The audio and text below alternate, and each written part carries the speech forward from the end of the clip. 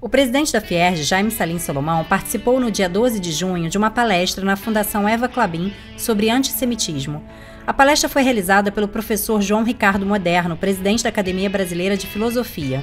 Na ocasião, estava presente o presidente da Fundação Eva Clabin, o empresário Daniel Clabin. Os brasileiros que vivem em Israel se organizaram e fizeram em Jerusalém uma manifestação por mudanças no Brasil. Brasileiros de vários estados que moram em Israel se juntaram para dar apoio aos manifestantes brasileiros que estão fazendo passeatas nas principais capitais do país.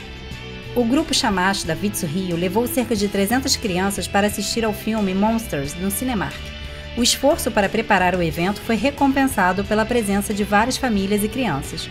O grupo Chamash convida todos para sua próxima sessão no dia 18 de agosto no Cinemark Botafogo com a estreia nacional de The Smurfs 2. O Colégio Eliezer Max convidou o psicanalista e professor do curso de pós-graduação da PUC Rio, César Ibrahim, para falar aos pais, professores e profissionais da escola sobre o tema Um Olhar sobre as Famílias na Contemporaneidade. A atividade faz parte do projeto Palestra do Mês, que se propõe a ser um espaço de reflexão sobre assuntos relativos à educação de crianças e jovens nos dias atuais. O rabino Eliarro Kaprov fez uma palestra no dia 22 de junho com casais da comunidade sobre relacionamento e o que homens e mulheres pensam um sobre o outro.